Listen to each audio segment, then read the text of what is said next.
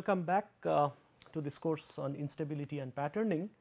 Uh, we, were, we were discussing, we just started in the previous class discussion on soft lithography and next couple of lectures at least we will continue discussing the same.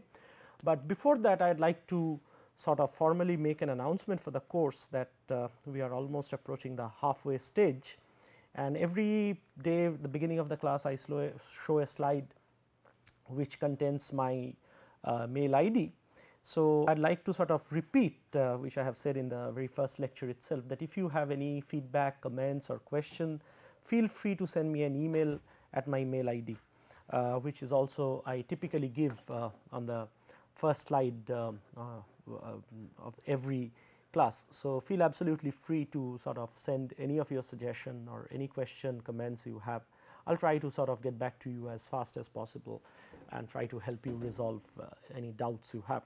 The reason uh, why I say this because uh, I, I, must be honest that for a chemical engineering uh, for a student uh, doing undergraduation in chemical engineering uh, this is a pretty new area. Of course, I do not regard that the concepts are very very tough or I mean some basic understanding of 12 standard science is probably all you need to follow this course which is not heavy on mathematics or anything like that.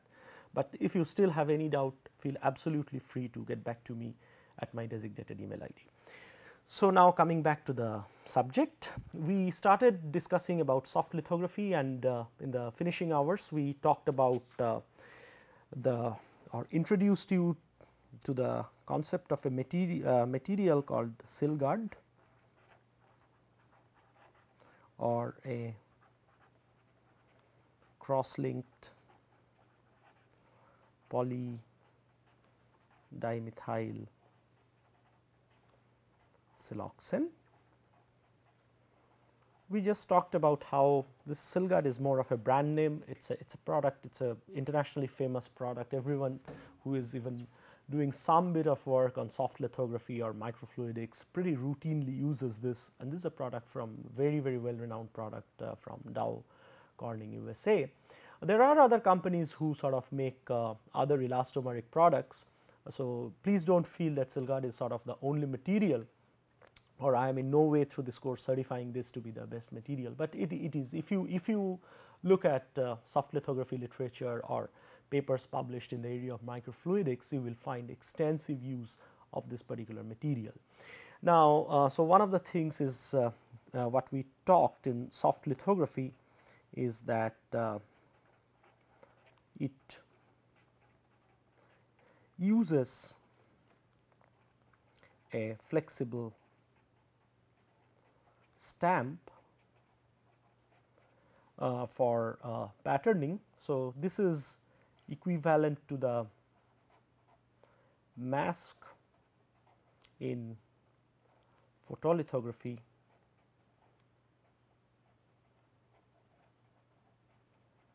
and uh, the mold in nano imprint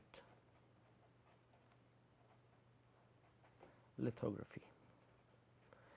So, I would regard that a soft lithography stamp is nearly identical to that of an NIL mold,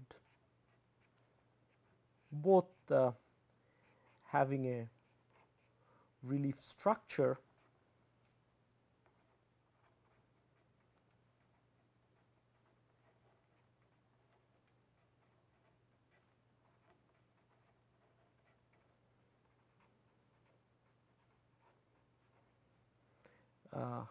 one of the key differences being this is in a soft elastomeric material in contrast this is rigid.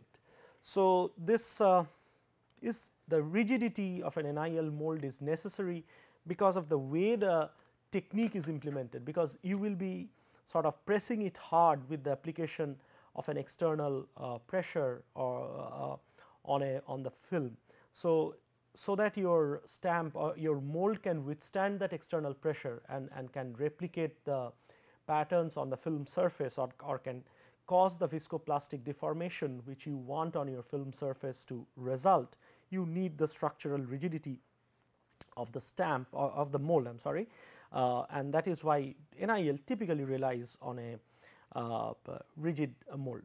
In contrast, in soft lithography, you typically do not apply an external pressure. We will see today what are the um, mechanisms or how exactly the pattern replication mechanism differs uh, from that in nano imprint lithography and uh, you rely uh, on stuff like uh, capillary driven flow uh, primarily I would say you would rely on capillary driven flow for pattern replication. There are various different forms in which it can be implemented. We will talk about some of them in contrast to a viscoplastic deformation uh, due to an applied external pressure. Now, saying that uh, of course, uh, the, I, we will discuss in details uh, about the pattern replication mechanism, but uh, what I can also tell you at this point of time the use of a flexible stamp in contrast to, to a rigid mold as it is used in, in case of nano imprint lithography has one major advantage or a couple of very significant advantages. I mean you will realize as and when we proceed in our discussion in soft lithography, but at this point of time maybe it, it will not be a bad idea to highlight some of those advantages. The first advantage is that if you remember in one of the slides of nano imprint lithography Uh, wh while we were talking nano imprint lithography, we did mention that maintaining a a parallel configuration between mold and film was extremely important.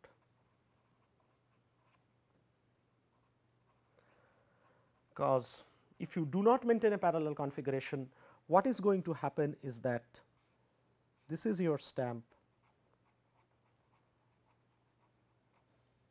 this is perfectly parallel let us say. In contrast, if you have a arrangement like this, you can pretty well imagine here you would be sort of uh, getting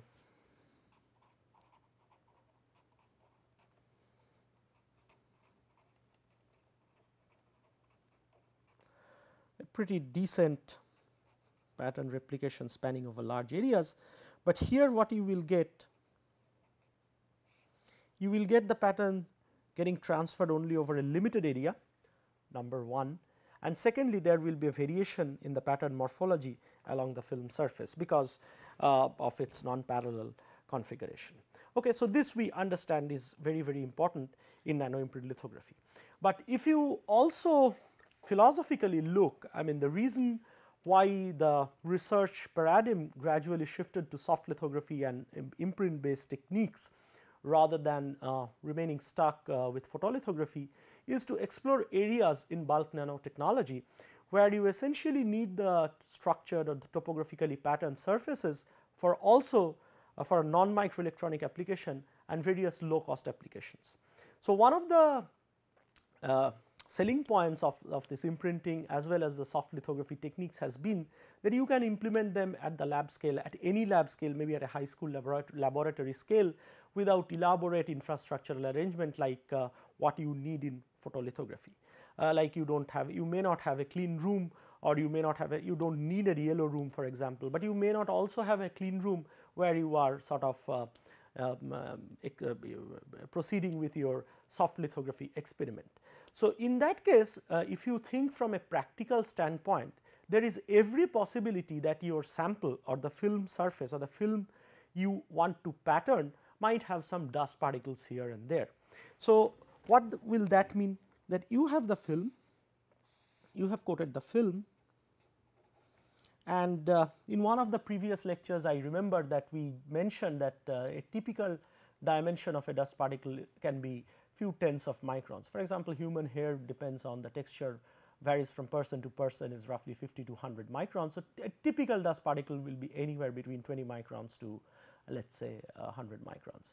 Now, you are talking by uh, way of uh, patterning dimensions at dimensions which are literally let us say uh, a few hundred nanometer down to let us say 10 nanometer that is what we said and we talked that since uh, pattern replication in uh, neither nano imprint lithography or soft lithography is diffraction limited and therefore, you can go down to as low as 10 nanometer. So, feature height also can be let us say uh, something like a few hundred nanometer.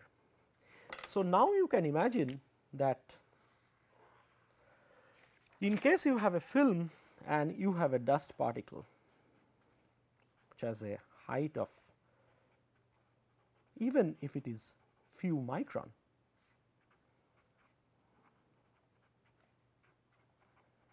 what that means? It means when you want to bring your stamp into contact uh, or your mold into contact, this particle will act as a spacer.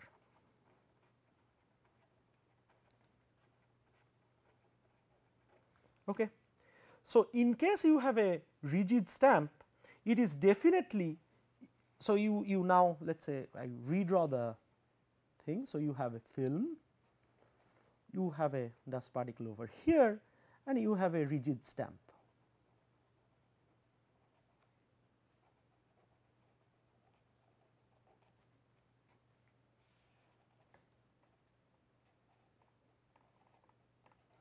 So, this particle might lead to several things. Firstly, it will not allow the full stamp, it will prevent the complete uh, the, the stamp to come in into conformal contact with the film.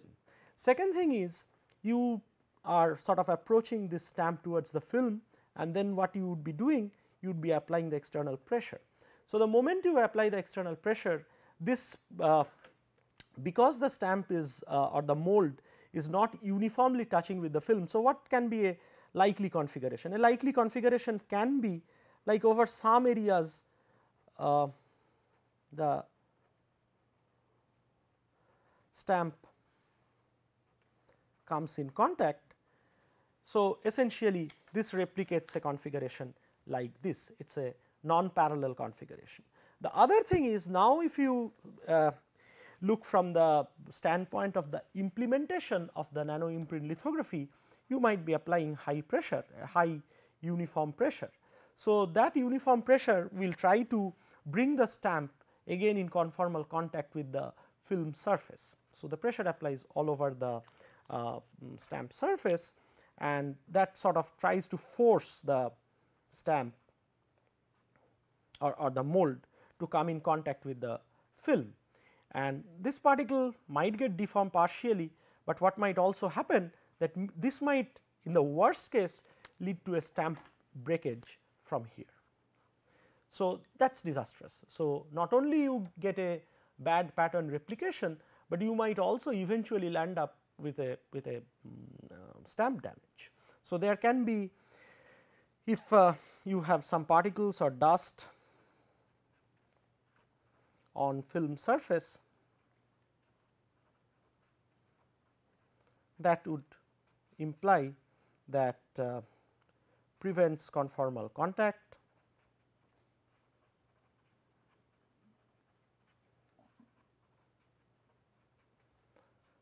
Non-uniformity.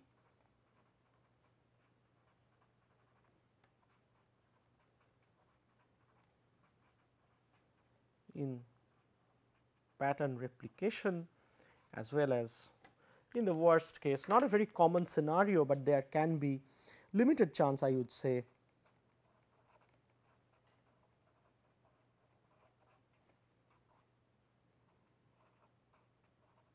of stamp damage. Okay. So, therefore, though we proclaim that uh, imprinting group of techniques are rather simple to execute and probably they do not extensively require infrastructure and uh, instrument support, reality is that if you are really serious about implementing your nano imprint lithography group of methods uh, mm, carefully, you would like to ensure that your film surface is at least dust free. And in order to ensure that how can you ensure I mean all you are doing is that you can use a syringe filter or something like that to ensure that during the coating the spin coating process uh, no dust goes in or no contamination goes into the film surface from the solution. Or in other words I mean if you look at the practical setting again uh, if you are looking at a film this film has been created let us say by spin coating. This is a very normal procedure and I remember that while talking about uh, mm, photolithography we have discussed about spin coating in greater detail. So, the question is that what are the likely settings or likely causes to bring in something like a particle sitting on the film surface. So, one of the possible thing is you must think practically what from where this particle can come. So, you can have a dirty surrounding or your lab environment is not that clean. So, there are a lot of dust particles which are uh, roaming around uh, within the dust, a lot of particles which are in the dust I mean in, in the air in the surrounding air if it is not a clean room. So, one possibility is that you take the substrate for coating. So, from the air from air some particle can come and sit on the substrate itself before the film is coated. So, if you now try to so essentially what might happen that you are coating the film on a dirty surface. So, what is dirty here? It contains some dust particles and I think we talked in terms of uh, uh, while we were discussing uh, spin coating the importance of cleaning the substrate. So, this is one of the key things. So, if you now try to coat the film on, on such a surf surface by spin coating itself, you are going to get enormous thickness variation around the uh, particles. Okay. And then again uh, think of that we told that this is a few micron uh, in size or in diameter and then by spin coating you are probably looking at creating a film which is like uh, a few hundred nanometer at best maybe you are looking at a film which is 40 or 50 or 20 nanometers. So, compared to the film thickness this particle. So, this is your film thickness you are aiming and the reality is this particle is like Mount Everest sitting on the surface. So, no way uh, it sort of uh, so this is the an exaggerated view of the particle and this is the film thickness you desire.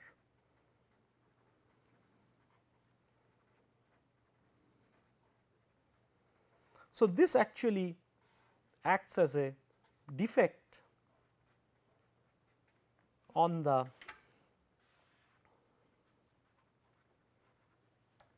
substrate itself and hinders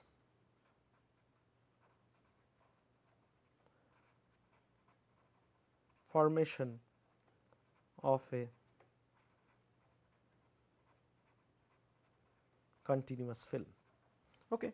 So, this you must understand. So, one of the possible ways of uh, where the dust or possible means from where or possible uh, mm, uh, defect uh, I mean possible reason for having dust on the film surface is that the dust might have been present on the substrate uh, even before the film was coated. The same thing even if you sort of uh, take good care of cleaning your substrate and then coat your film by, by let us say spin coating. So, the substrate you sort of ensured was uh, dust free, you now have coated and while you are trying to waiting to do the experiments or while you are processing the film for subsequent uh, downstream processing that is embossing or imprinting or whatever, some dust particles from a dirty environment can come and now settle down again on the surface of the film. Okay. So, that is precisely the scenario we talked over here. So, some dust particles sort of gather from the surface of uh, from somewhere maybe from air and settle on the surface of the film. The so here there is a slightly different slight difference between the previous case. If you have the dust uh, present on the substrate before the film is coated, then what you will uh, eventually result uh, is that you will have a film which contains defect. But this is a scenario which is slightly different you might have a nice continuous integrated film or nice continuous film and on which so the, the, the dust particles can come and settle. So, while the film is good here, but the consequences during the imprinting will be pretty disastrous uh, in this case also. So, that is not at all desirable. But the third possibility also remains. So, in these two cases both the cases we sort of assume or we sort of feel that the dust particle which was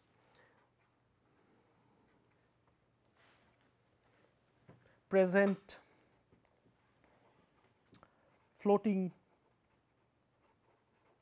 in air comes and settles either on the substrate or on the uh, on the coated film. But there can be a third possibility that uh, you bring in some contaminants or particles along with the solution you are dispensing. So, here it is you let us say you take a clean. So, I would regard that this is the second likely setting, this is the first likely setting of incorporating a defect, this is the second setting, but you can think of a third setting also. This is again from a I am giving you or telling you in a fashion which is very very practical. You really if you are interested in implementing any of these lithography techniques or want to work in thin film polymer thin film experiments you sort of have to be very careful about that. That can be that when you are dispensing the solution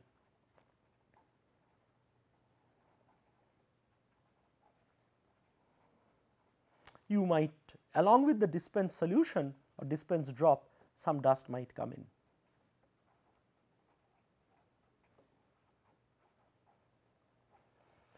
Okay. So, you have to be careful about this also this aspect also. So, typically two experimental protocols are, are followed uh, in order to prevent this occurrence. One of them is before coating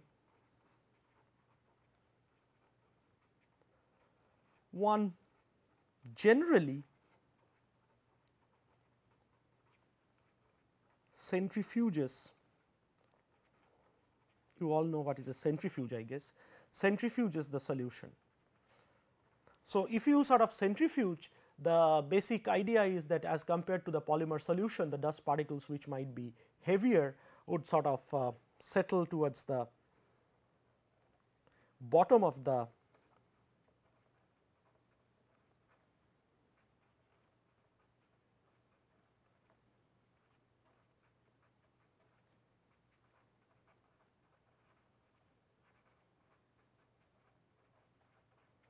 of the centrifuge tube.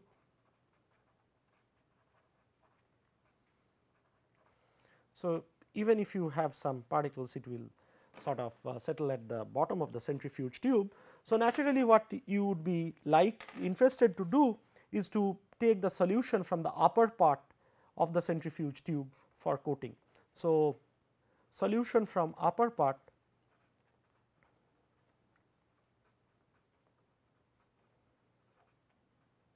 is used. And this is very common I mean lot of people who do coating with thin films even in, in, in the industrially photolithography wherever you do spin coating this is a practice that is generally followed. And how do you take out this solution? You typically would use some sort of a syringe and a needle, uh, typically a syringe. And so, the second precaution typically you would take. So, if this is your syringe from which you it can be a micro syringe or whatever from which you would like to. So, here first you suck out the solution from this uh, upper part of the centrifuge tube and once you are happy or once you have have adequate amount of solution for dispensing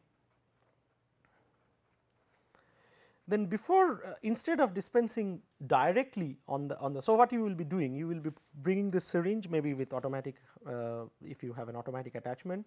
Many spin coaters come with an automatic dispensing mechanism so that is also possible. But the other thing is that you can just bring it uh, carry it uh, manually and dispense it. I mean even then uh, spin coating works. So typically a second precaution that is taken is that instead of dispensing it directly from the um, uh, dispensing nozzle of the syringe, you would uh, put on something called a syringe filter.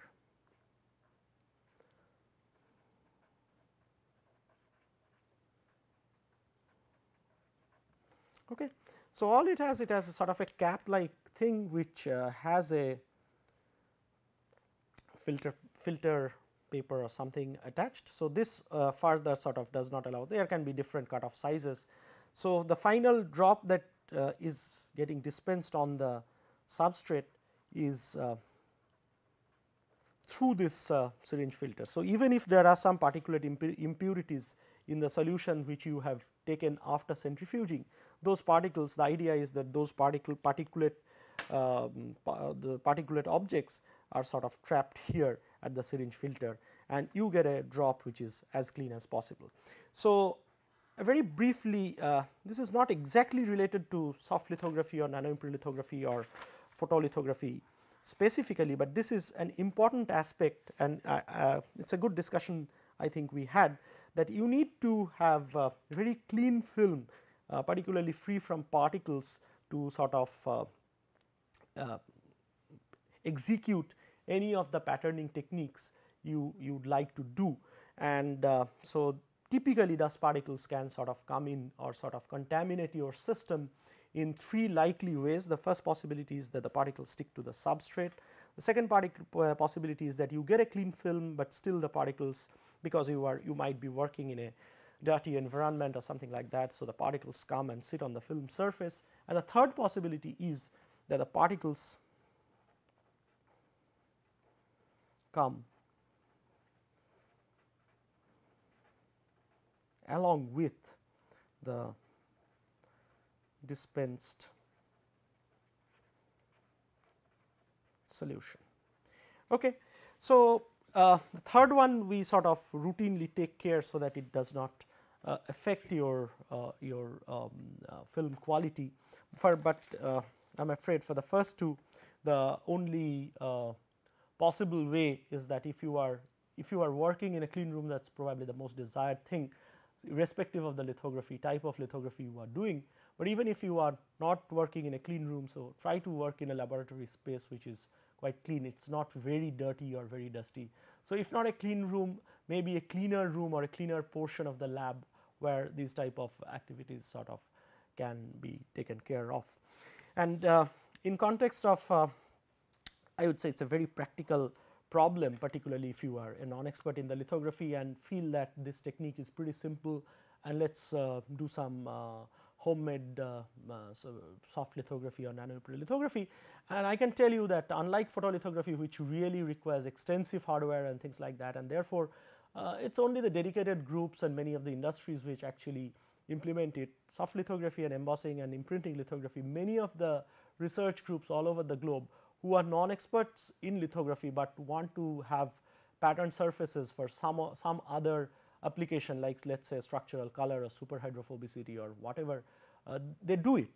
So, that way this is actually these, these techniques are very easy to implement and they are pretty flexible. So, it is done, done pretty routinely. So, in spite of understanding all the possible problems and uh, well taking care of uh, some of them in a, in a scientific fashion. Uh, for example, you can uh, you can almost certainly prevent any dust contamination coming in with the with the dispense drop. I mean that that is uh, there, is a very sort of well established protocol now that uh, the dispensed uh, the, the drop to be dispensed or the solution to be dispensed for coating typically is uh, centrifuged and then you use a syringe filter. But I am afraid the um, settling of dust on, on a film surface or a substrate or on a substrate is rather difficult to control. So, assuming or agreeing to the fact or if you if we sort of accept the fact that you can have some random dust particles coming here and there, you have we have now seen that this almost even the presence of a single dust particle sort of makes implementation of nano imprint lithography perfectly almost impossible.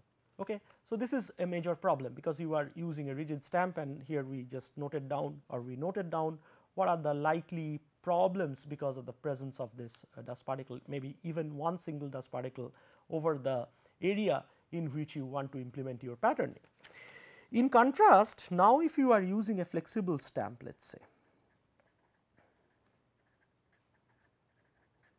flexible stamp. Let us say an elastomeric stamp.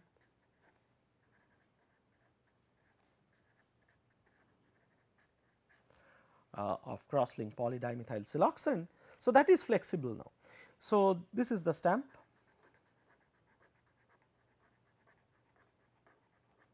Let us say.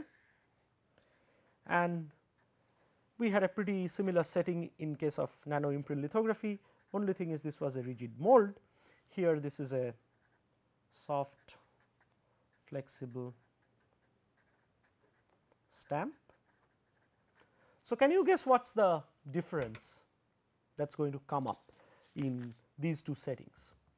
So, here the dust particle sort of uh, did not allow the stamp or a major part of the stamp to come in conformal contact. So, maybe only a small area came in contact and that too it was not a conformal contact there is a continuous variation in the depth of the structures uh, because of the presence of maybe even a single dust particle.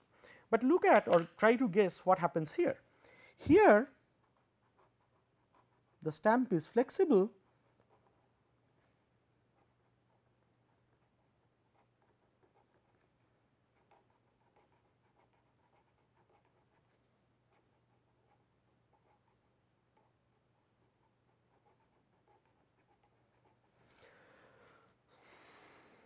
So,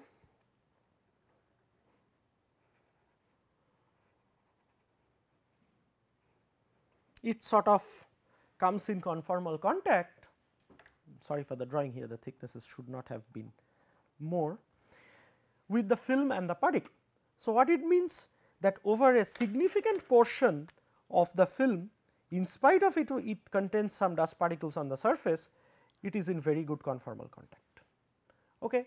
So, now if you if you implement one or one of the soft lithography techniques which we are going to discuss subsequently, you can see that though there were some dust particles, your final pattern of the film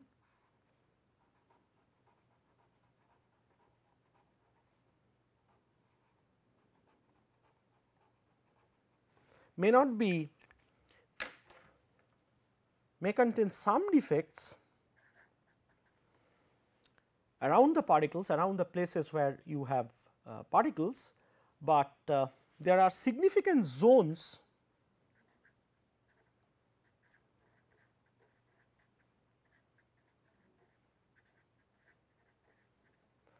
which for many of your application can be adequate or good enough for you to use this substrate for experimentation.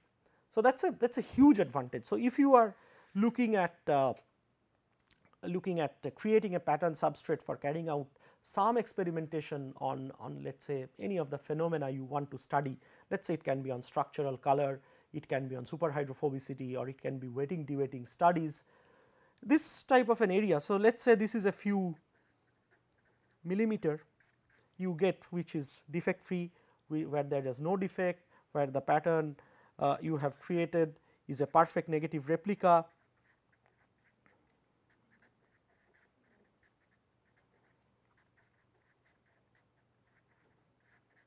of the stamp pattern.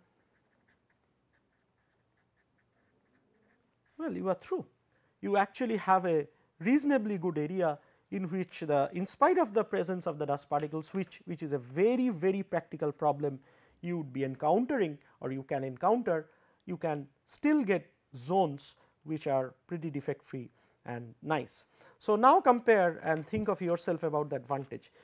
In nanoimprint lithography or classical imprinting based techniques which rely on the use of a uh, rigid stamp, even the presence of one single dust particle can sort of not only distorts your pattern, but it can eventually lead to uh, as something as catastrophic as damage of stamp.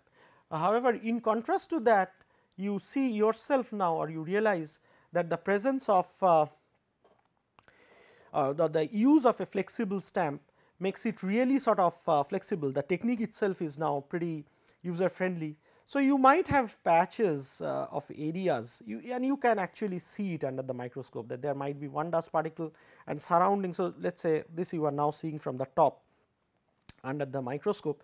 So, you have a pattern surface like this and all of a sudden you will see that there is an area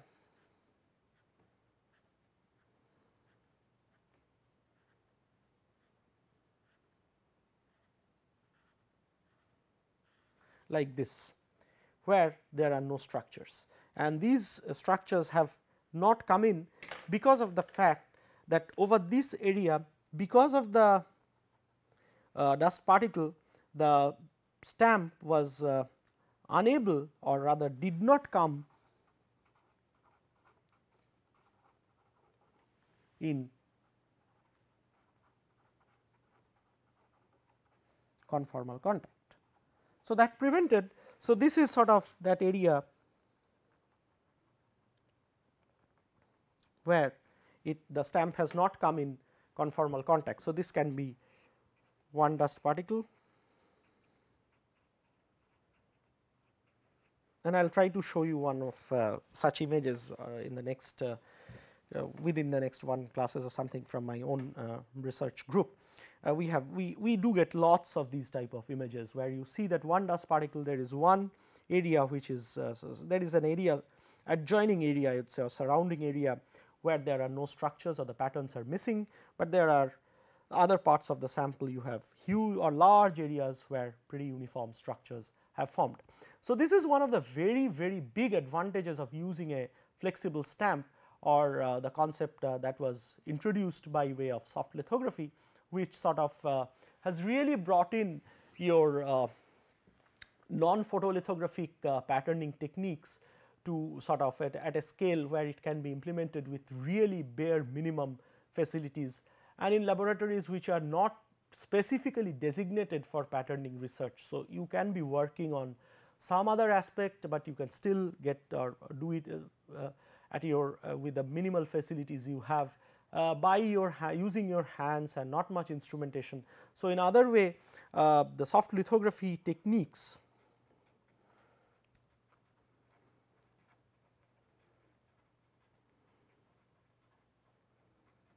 are quite do it yourself type.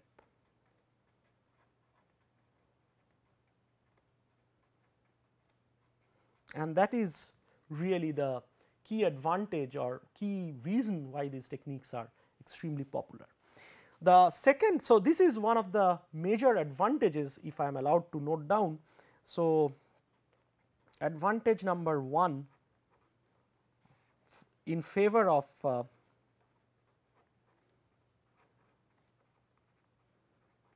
using a flexible stamp.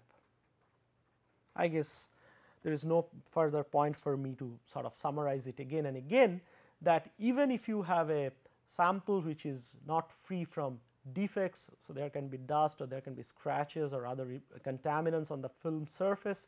You can still get reasonably large areas where the pattern dimensions or the laterally or physically the patterns are not at all distorted and which might sort of serve your purpose for various applications. It may not serve your purpose for microelectronics, but there are a host of applications where if you get a get a reasonably wide zone like this, it is perfectly fine.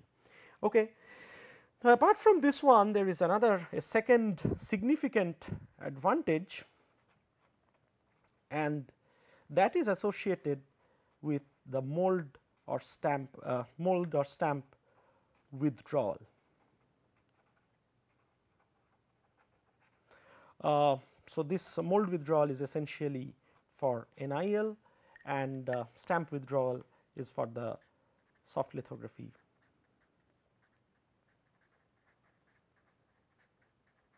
methods. What is that advantage? So, let us say that you somehow have a dust free environment, you have ensured you have coated nice films and on one side you are implementing NIL, on the other side you are implementing soft lithography. So, here you have a nice uh, rigid NIL mold. On this side you have a nice flexible soft lithography stamp you here you imprint or emboss the film.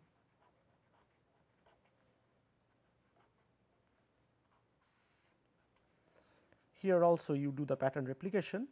We are yet to sort of discuss in detail about the detail mechanism which we propose to take up shortly. So, things are in conformal contact in both the cases.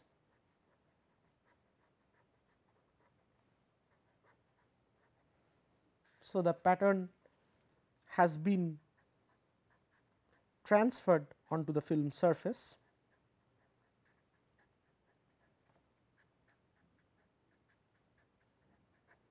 So, the thermal cycling is over in NIL and we will talk what needs to be done. So, now at this stage we are good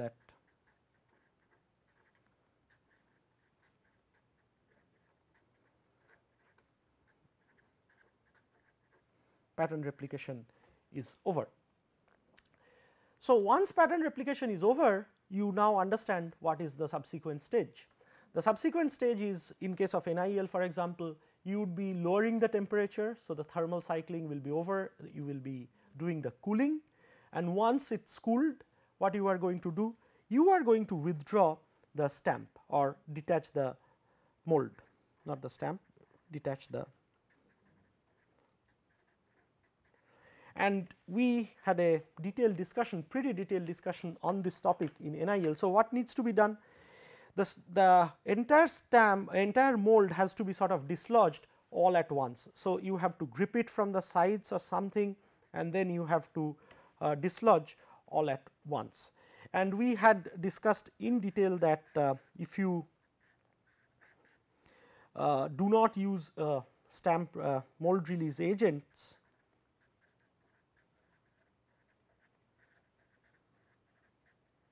there is a significant possibility that there might be a cohesive failure uh, within the of, of the structures. So, you may not get a clean detachment of the mold.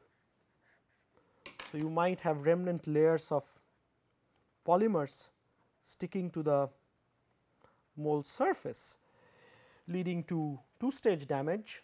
The mold becomes sort of uh, non usable or secondary processing or cleaning has to be done of the mold and the structures uh, are non uniform on the film surface. So, you we talked about that we need to use a mold release agent and things like that. In contrast, so the other thing is apart from using a mold release agent of course, you need to have a gripping mechanism. So, that sort of holds the entire stamp and detaches just like that. So, depending on uh, how small it is at a lab scale it can be a tweezer where you sort of uh, push it from one side and detach. Uh, it can be a pretty good robot arm if you are talking in terms of uh, huge automatic NIL setup.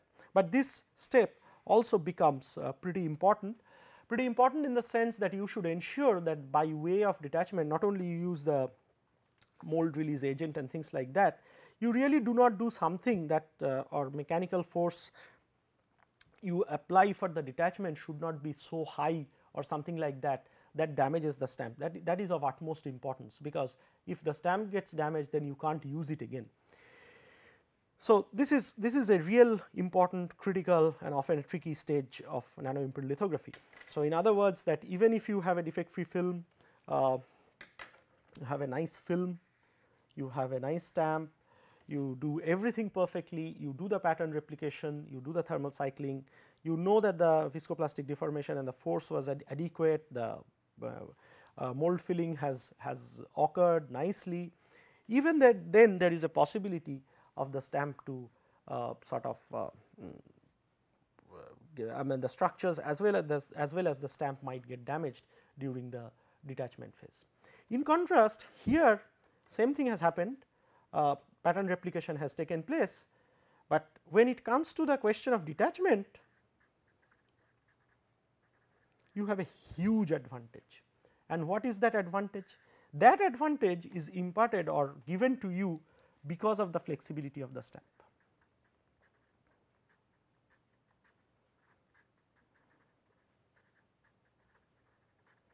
So, what does it mean? it means that unlike in a in a setting like nano imprint lithography where you were using or you had to use a rigid stamp. So, you have to de design of something like a, a, holding mechanism for the whole stamp to sort of um, come up all at once. Here what you can do is you can use simply something like a tweezer to hold the stamp from one of the sides and uh,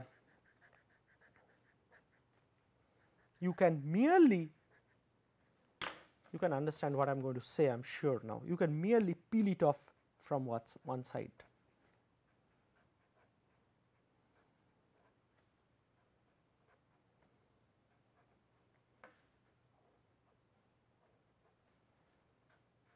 Because this is flexible, so this is possible. You just peel it, hold it with a tweezer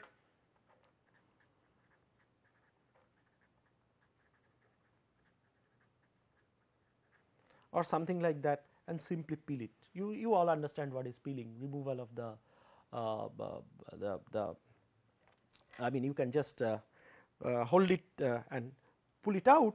So, what will happen is that the, the stamp can be nicely withdrawn uh, from the uh, pattern film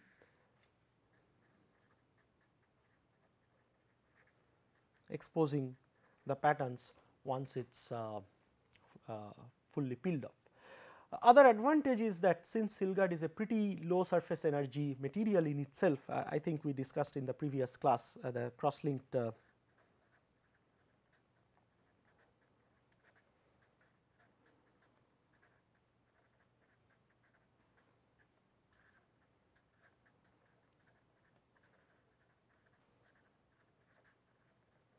surface energy or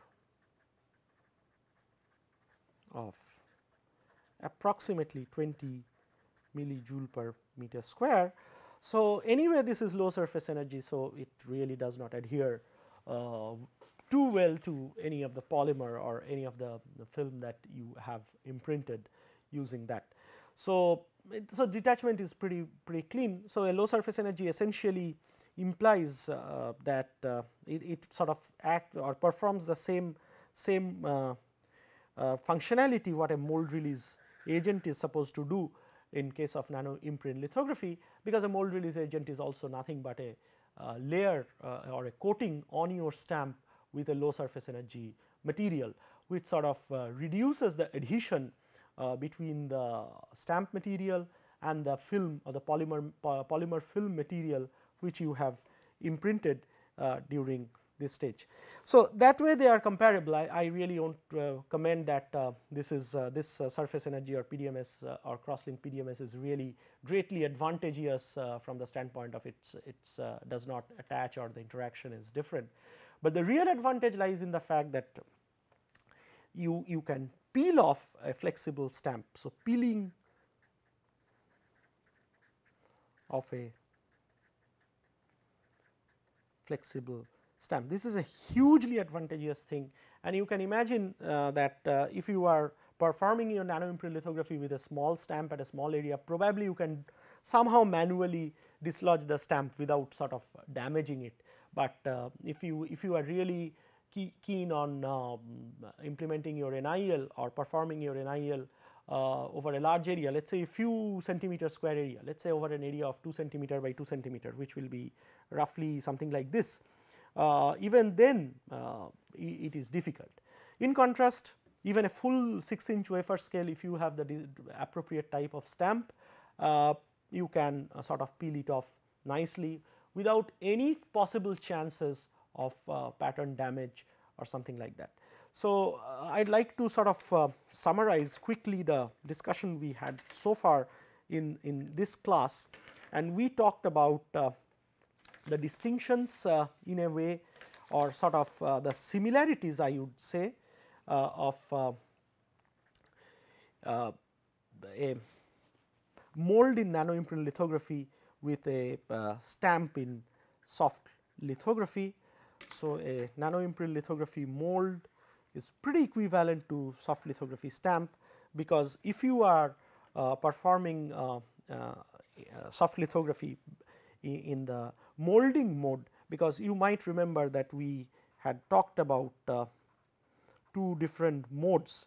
Uh, one is the molding mode, one is the uh, printing mode and molding mode is essentially what we are so far limiting our discussion. Of course, in subsequent classes we will be talking about the printing mode. So, molding mode is something what you use for creating topographically patterned features and surfaces. In contrast, in printing mode you will be using uh, for making chemically patterned surfaces. Nano imprint lithography also you make uh, use for making topographically patterned surfaces. So, that way uh, we would like to we sort of drew similarities between um, molding mold uh, molding mode soft lithography techniques. We have not yet discussed the techniques, we will shortly do so and the nano imprint lithography group of techniques and we realize that the purpose of the mold here is exact equivalent to the stamp what a stamp does in soft lithography, but we also contrasted uh, from the practical setting as to what can be the advantages of using a flexible stamp as compared to a rigid stamp. And we found that there are phenomenal advantages. Number one is that uh, the use of a flexible stamp can sort of handle defects uh, present within the uh, on a on the film. So, even if your film uh, which you want to pattern or the zone you want to pattern is not completely defect free, uh, then again you can sort of you can still work with soft lithography a flexible stamp. And the second thing is you have a huge advantage when it comes to the question of stamp release or mold release in case of nano imprint lithography as compared to stamp release in soft lithography where you can simply do a peeling to achieve that. Having said that we must also acknowledge that there are some limitations of using a flexible uh, cross-link PDMS uh, as a stamp uh, due to its uh, softness, uh, softness primarily and the mechanical flexibility uh, often it becomes difficult to replicate structures with high aspect ratio. So, if you want to have structures with high aspect ratio that is if you want to create tall structures like this and if the sort of pattern density is uh, very very high. So, you have low periodicity, but very high aspect ratio structures like this uh, on a uh, soft flexible stamp this can be a major issue. On a rigid NIL mold the fabrication can be costly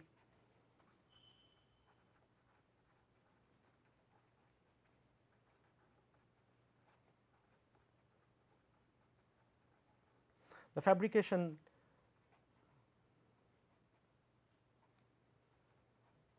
can be costly, but there is no associated problem. What is the problem here? There might be a possibility that these two uh, structures adjacent structures sort of get attached to each other uh, like this. So, you will not be getting the desired replica and this uh, phenomena or this particular occurrence is known as what is known as the pairing defect. You can also there can also be additional problems if you if you sort of uh, go for a try to make a very low duty ratio uh, uh, structure. So, your final structure will look something like this. This is the duty ratio is very very low.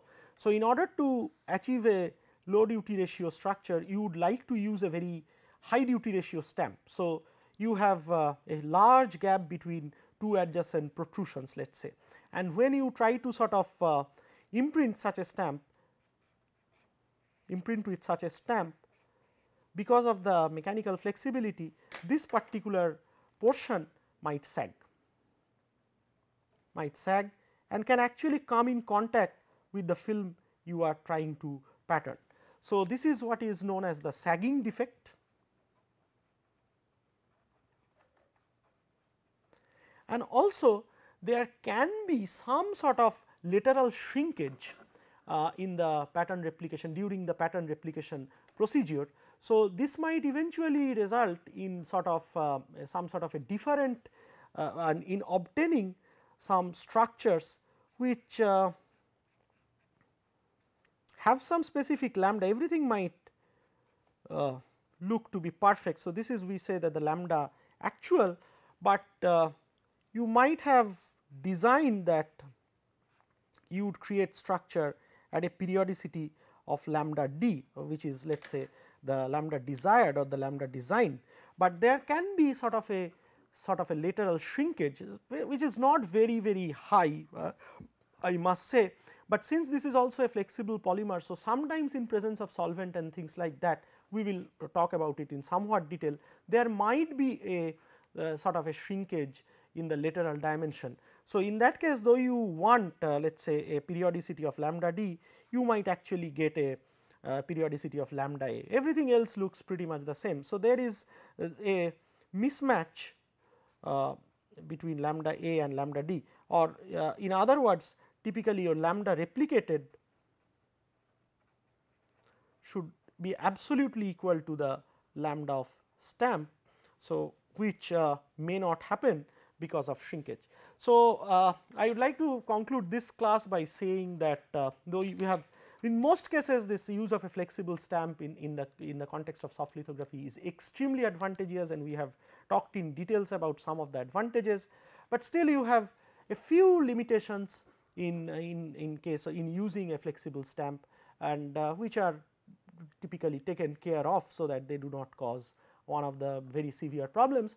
But yeah I, I would say pairing remains a serious issue and therefore, uh, with uh, most soft lithography techniques use a flexible stamp it becomes difficult to create very high aspect ratio structure. But having said that you must realize that the use of a flexible stamp in the form of a cross linked elastomer is really uh, where most of the recent activities in soft lithography is taking place and that really makes the technique sort of gives the technique a flavor that you can implement it at your will even if you are a non-expert in this field.